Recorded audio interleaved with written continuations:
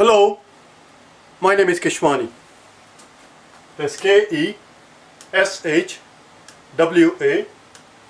Keshwani. We are here because we want to improve our math skill. Today is our lesson number 128. 128.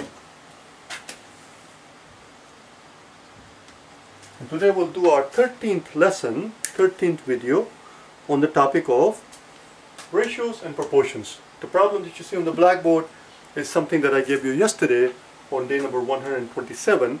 If you have not watched yesterday's video, if you have not watched day 127, pause this video, stop this video, make sure you watch 127 first, make sure you solve the problem that, that we did yesterday first. This problem I gave you yesterday as a homework, it's very similar to what we did yesterday. Here's what the problem says. In a solution, in a solution, the ratio of liquid A to B to C is 2 to 5 to 7. The solution is then altered. The solution is then altered in such a way that the ratio of A to B is doubled and the ratio of A to C is tripled. In the final solution we are told, in the final solution we have 30 millimeter of liquid B. If we have 30 millimeter of liquid B, how much of C must we have? The work that you see here is from the yesterday's problem, it's not from today's problem. What I want you to, and here are the answer choices, 21, 24, 28, 30 and 42. What I want you to do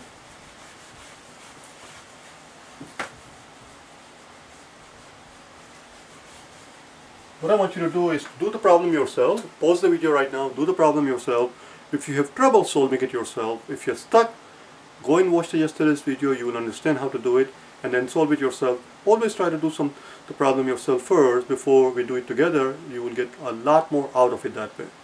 I'll give you five seconds to be able to pause and unpause the video.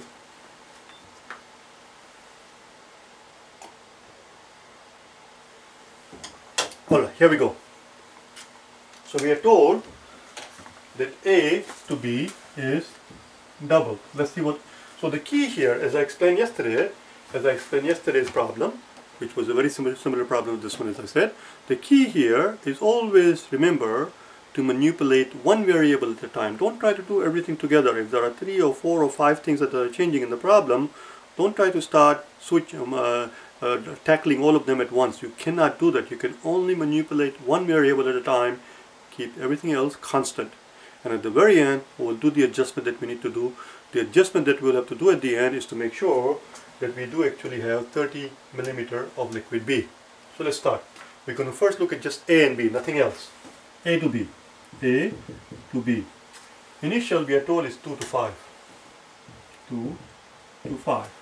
Then we are told that the ratio is doubled. It is double Instead of 2 to 5, it's going to double. It's going to be 4 to 5. It's going to be 4 to 5. It has been doubled. That's it. That part is done. We are all done with that part. Let's move on to A to C. A to C, initial ratio is 2 to 7. Initial ratio is 2 to 7. 2 to 7. And we are told that ratio, that ratio in fact has tripled. It has tripled, which means instead of 2 to 7, we have 6 to 7. That part is also done. We are all finished. Now we have to go back and make sure that we have 30 millimeter of liquid B in both of these scenarios. And you will see what I mean by 30 millimeter of liquid B here. You will see. We need to have 30 millimeter of liquid B. Here, how much of B do we have? We have only 5 millimeter of liquid B. We need 30. We need 30 millimeter. Let's multiply this by 6. If we're going to multiply that by 6, we have to multiply this by 6. We end up with 30 millimeter of liquid B to 24 millimeter of liquid A. Liquid A, this is B. Do we have 20, do we have 24 millimeter of liquid A here? No, we do not. We only have 6. Here we are showing 24. If we are showing 24 here, we must have 24 of liquid A in this scenario also, because it's the same liquid obviously. We need to multiply that by 4 to make it into a 24 to make sure we have the same figures. If you're going to multiply that by 4, we need to multiply that by 4. We must have 28 millimeter of liquid C. The answer is C. The answer is C. See you tomorrow, okay? Well, let, us do the final thing here. So here's the initial situation. here's the initial situation A to B to C. We had 2, 2 to 5 to 7 and here's the final. Final situation we have is final situation we have is 24 24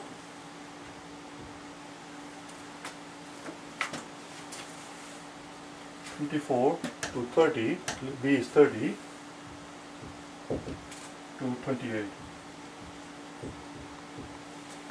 and are you able to see here are you able to see the are you able to see the two changes that we have made A to B is doubled well before A to B is 2 to 5 A to B was 2 to 5 from 5 we go to 30 5 times 6 is 30 if you're going to multiply 5 by 6 to get to 30 we have to multiply this by 6 if you multiply 2 by 6, we multiply 2 by 6, this would be 12. This would, would, would have been 12. If, if it stays 12, then A to B has not changed. We don't have 12, we have 24. That tells you the ratio of A to B has doubled. This part that we're doing here is not necessary for the problem. Problem is done, we're done, the answer is this. We're just doing it for understanding. Are you also able to see that A to C is tripled? Are you able to see that in this scenario, going from here to here, the ratio of A to C is triple. How do we convince somebody that ratio of A to C is triple? Let's take a look at it. Ratio of A to C is triple. Before we had 2 to 7, 2 to 7. If we have 28 milligram of C, 28 is 7 times 4, 7 times 4, this should also be times 4. It should have been 8. 2 times 4 is 8, 7 times 4 is 8. Had this been the situation, then ratio of A to C has not changed. It's the same ratio as 2 to 7. 2 to 7 is same as 8 to 28. But it is not 8, it is 24. It is 3 times as much. It is 3 times as much. Ratio of A to C has been tripled. Ratio of A to B has been doubled. I'll see you tomorrow, okay? Bye now.